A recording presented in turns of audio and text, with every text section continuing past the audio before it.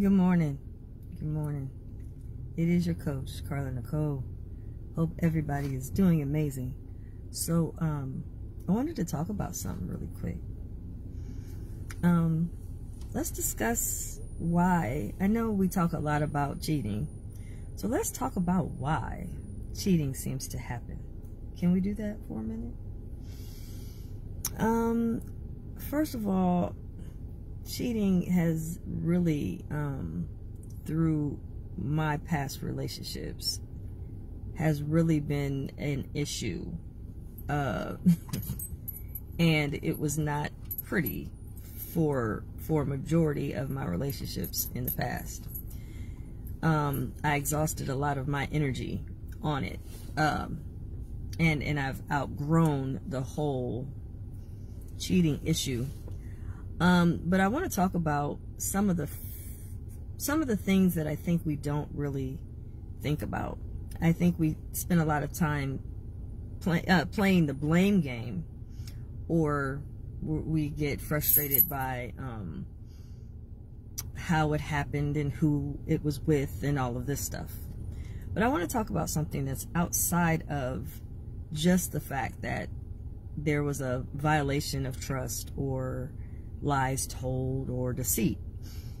Um, a lot of times, cheating or um, extra relationships become, uh, I would say, evolved or or become an issue in your relationship is nine times out of ten because what was happening in the beginning of the relationship either changes and fizzles um, or it become or it becomes um, very mundane, very boring, and the couple or the people involved in the relationship be, begin to get a little bit frustrated because you know the way they they remember the relationship um, to be in the beginning isn't the same so I want to talk about that for a minute. I think we don't often talk about um,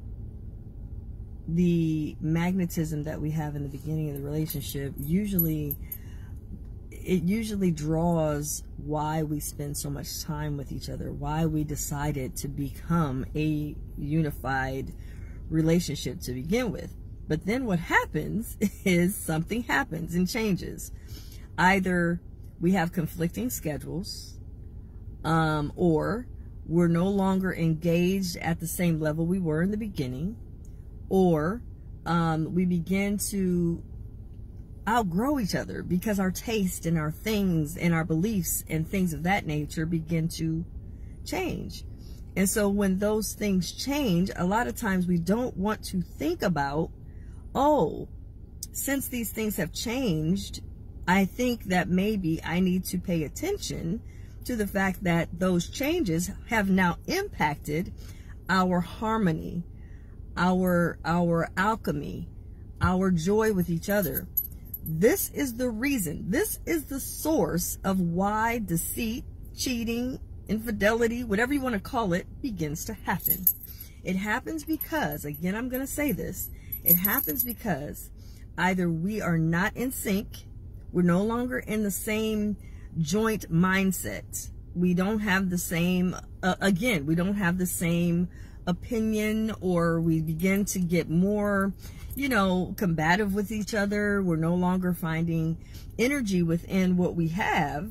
We're not finding that to be joyful anymore because now it's like, I don't really have the same interest you have and I can't see myself in you anymore and any longer.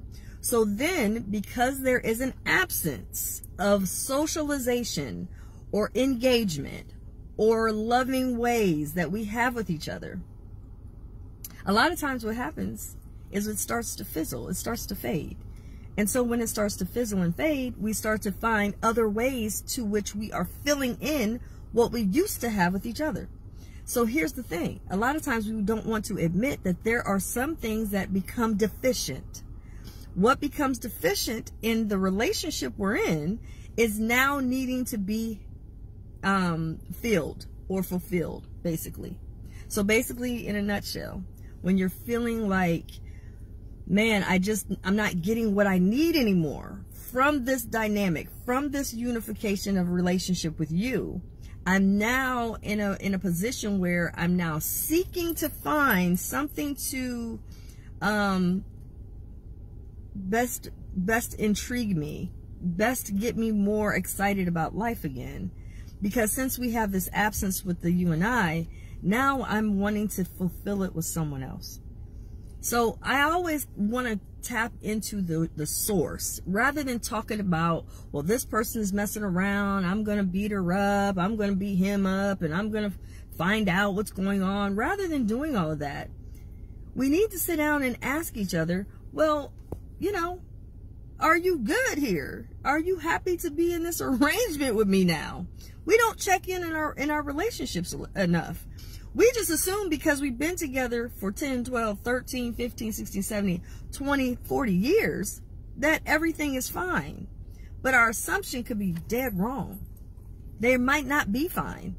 Because in different seasons, in different relationships, we tend to change and move into different newfound dimensions of ourself.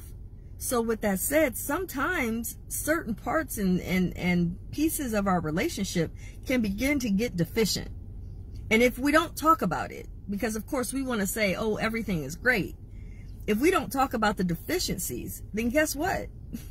We're going to find out, oh no, my man or my woman is talking or, or my lovers that I'm involved with are talking to other people because they're not fulfilled here anymore. And that's what it is. So a lot of times we don't want to talk about this, but this is the reason. We always talk about what's the outcome, which is cheating, right? but we don't want to talk about what caused the cheating to happen because a lot of times nobody really wants to talk about that. But here's another here's another nugget you may maybe you want to consider. When you're in a relationship and you are full of magnetism and you're beautiful, you're handsome, you know, people come up and talk to you, you have a great rapport, people draw to you. And say for instance, you're in a position you're either somewhere or you are on the phone or someone inboxes you and they are attractive. They are someone that's attractive that you would draw to if you were not in this relationship you're in. And they draw to you and you are like, wow, really, you know, pretty flattered and, and, and, uh, and a little bit like, oh, okay.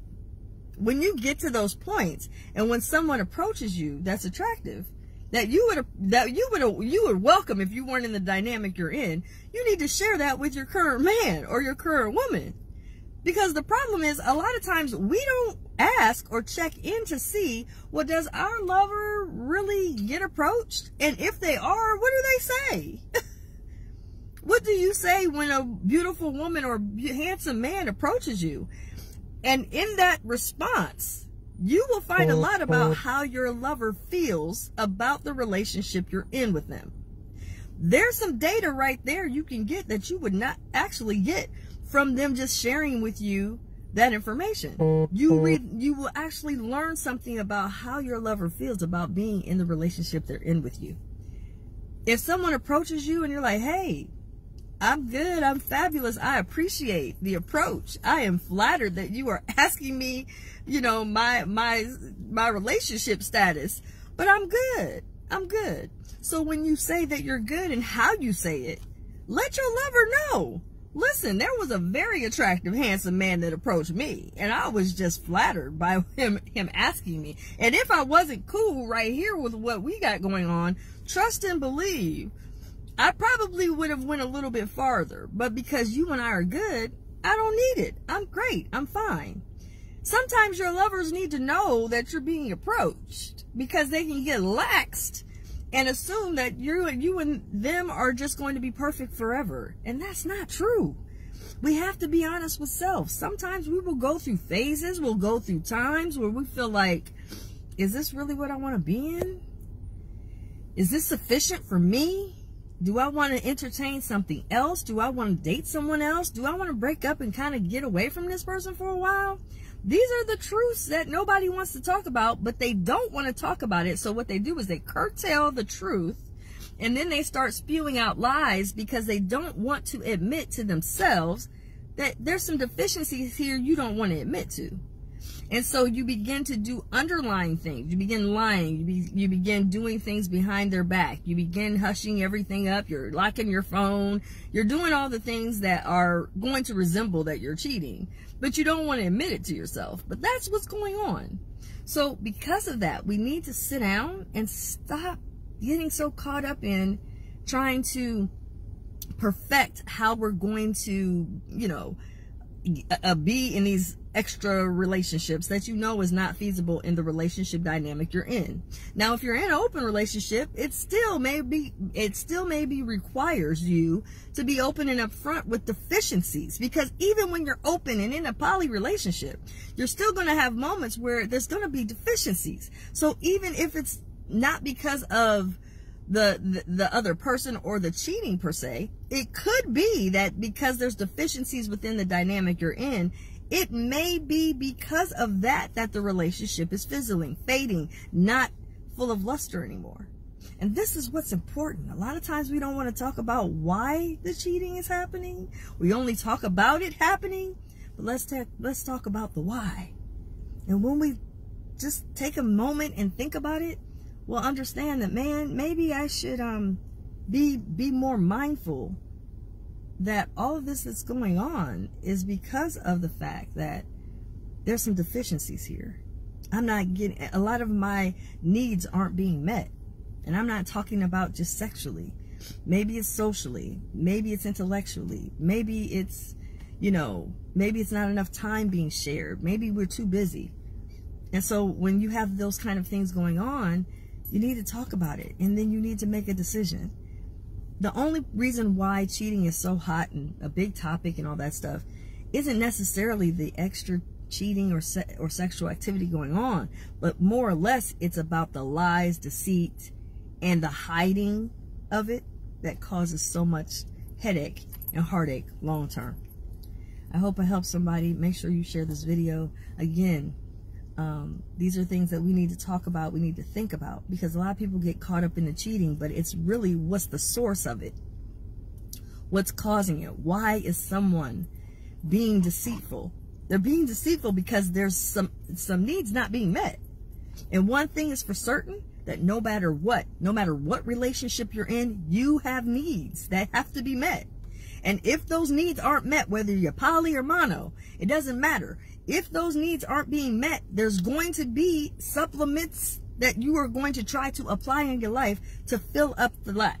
Period. Just what it is. I'm just here to tell you. This happens in relationships all the time. It's not because of just the fact that, oh my God, it's this, it's that. It's not just about that. Sometimes it's circumstantial. And we have to talk about these as well, outside circumstances. You may have to move for your job or something. You're constantly have a higher demand in your job, so you're not able to be in a great rapport with your lover. All of these things can happen, which can impact the fluidity of what you have with each other. And now we're frustrated because we wanted this relationship to be this way, but now it's not. I hope I helped somebody today. It's your coach, Carla Nicole. I'm signing off, guys. Best kept.